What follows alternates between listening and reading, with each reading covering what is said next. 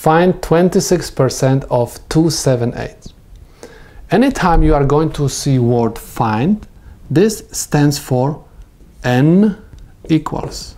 I have 26% of stands for the multiplication and I have 2 7 eighths.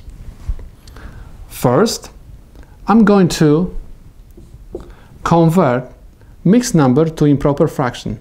Also 26% I'm going to convert to improper fraction because I'm dealing with fractions.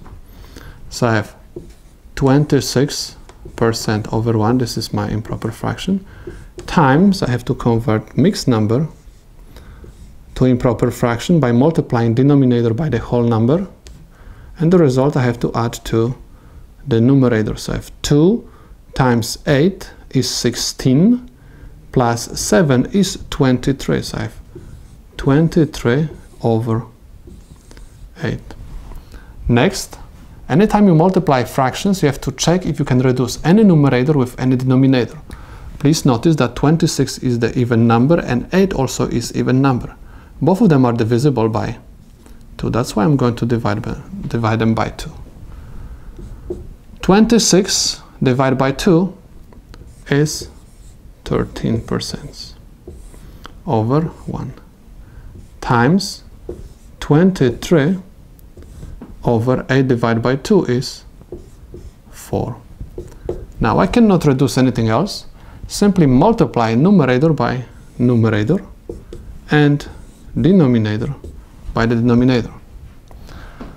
13 13 times 23 is 299 and because I multiply percent this is going to be 299 percent. Over 1 times 4 is 4 now the question says find means we have to find the number okay? Anytime we are looking for number we're going to use the formula which we were looking for decimals okay? This decimal can be also replaced by number. So anytime we're looking for number we have to divide percent number by 100% that's why I'm going to divide this fraction by 100%